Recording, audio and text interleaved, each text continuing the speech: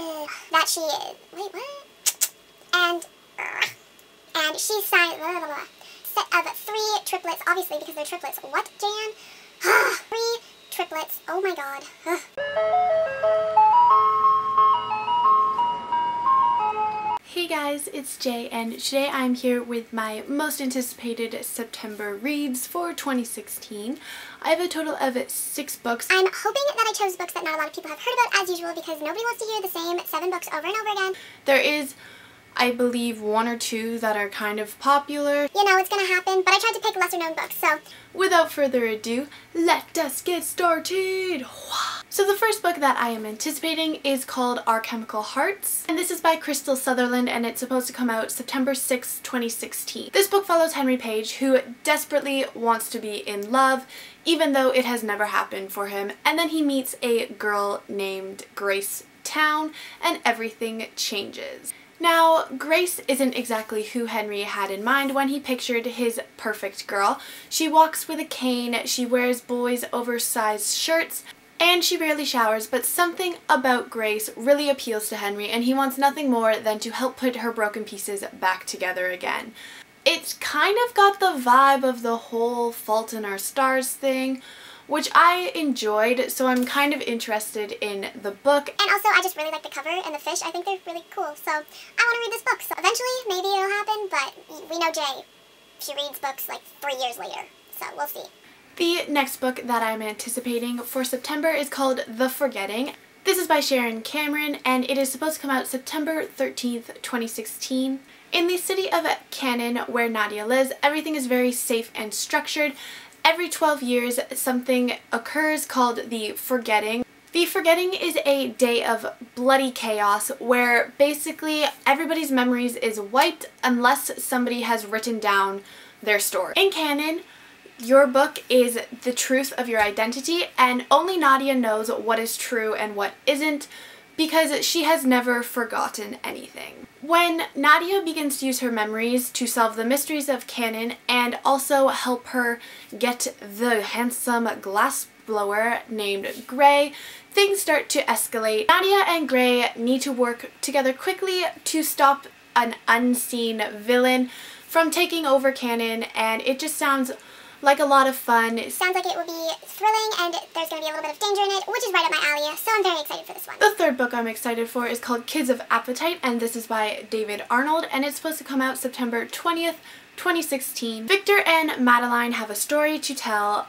it starts with the death of Vic's father and the murder of Mad's uncle. The police want to hear the story, but in order to get the full picture and story, Mad and Vic need to tell all the chapters in between. Sounds like a cute little YA book. And I haven't read YA in a while. I've been on a, like a thriller fantasy-ish kind of kick, so excited to uh, see what I think of this one. Next is Three Dark Crowns, and this is by Kendare Blake, and it also comes out September 20th, 2016. Every generation on an island, there is a set of triplets born. This set of triplets is the heir to the throne of this island. Each queen or sister is able to use some form of magic. Mirabella has the ability to control the elements. Katharine is a poisoner and she is able to ingest poison without getting sick at all. And Arsinoe is a naturalist and she is able to make any flower bloom or tame any animal. When the queens turn 16, the battle begins and it is a fight to the death to see which queen will be the true heir to the throne.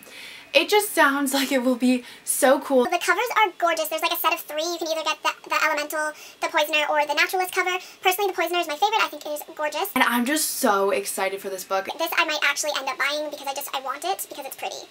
And the story also sounds cool too, so like, I mean, that helps, but I need it. The next book is called The Vanishing Year, and it is by Kate Moriarty, and it comes out September 27th, 2016.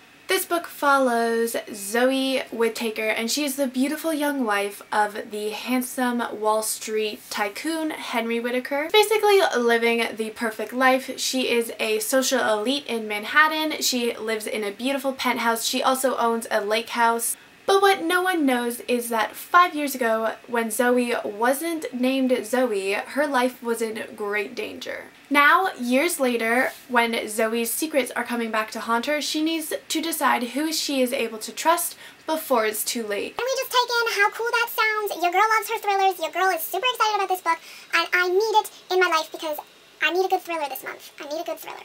And the final book that I am anticipating for the month of September is called The Woman in the Walls, and this is by Anne Lutkovic. I'm probably saying that wrong.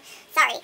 But this comes out on September 27th as well. Lucy Acosta's mother died when she was three, and she has always lived in this mansion with her distant father and cousin Margaret. When Lucy's Aunt Penelope disappears while walking around the woods in their estate, Lucy finds herself alone. Margaret has been spending all her time in the attic, claiming that her mom is talking to her through the wall. Lucy watches as her cousin's sanity slowly slips away until she begins hearing the voices through the walls as well. Oh my god, I need this book. Does that not just sound so cool? Like, psychological thrillers are my shit, and I need it. I entered for it in a Goodreads giveaway, and I didn't win, and I was so bummed out, and now I need it so badly. I might actually go to Chapters and buy this in Three Dark Crowns, but we'll see if your girl's gonna spend her money, because we all know your girl don't like spending her money.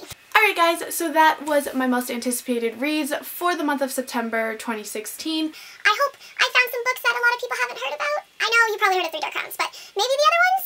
I don't know. I'm sorry if none of these are new to you. I tried, but these are the ones I'm excited for, so sorry, not sorry. I will see all you lovely lemon drops in my next video. Goodbye!